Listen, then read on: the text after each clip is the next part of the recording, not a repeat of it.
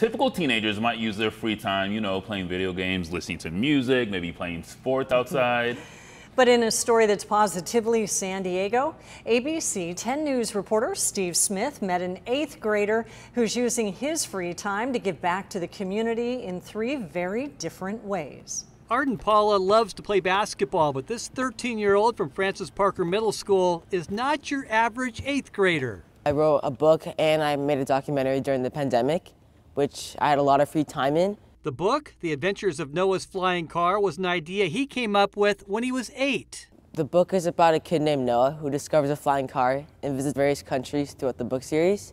My curiosity drove me inside where I discovered a flying car. He always has a stylish hair and loves wearing red shirts. He loves playing tag as well as hide and seek. Yeah, I, I like writing a lot, and um, and all the proceeds from the books were donated to homeless shelters. Arden also likes directing and making videos, so of course he made a documentary called A Second Chance. And basically, I made a documentary about the homelessness in San Diego from a kid's perspective. I interviewed many of the homeless people in San Diego, uh, and they told their stories.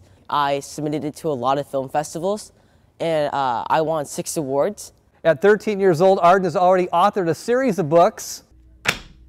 He can call himself an award-winning documentary director. And cut. And if he's not busy enough, he's also started his own nonprofit.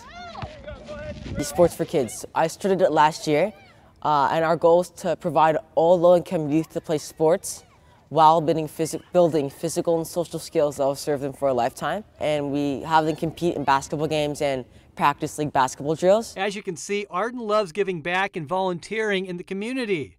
It's something he says was inspired by his parents. Really rewarding feeling after you give back. You feel like you're doing something for the community, and it's really, really good feeling. Steve Smith, ABC 10 News. Arden hopes to write another book as well as provide a thousand bags of hope for children in need at the holidays.